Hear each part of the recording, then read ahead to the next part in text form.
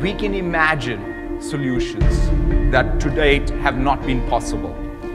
Uh, with the most malleable of resources, which is digital technology, we get to change the world, or you get to change the world. And so that's what I would leave you with, which is imagine the future, but connect that future that you imagine to your core passion, because that's what's going to make you successful. Thank you all very, very, very much.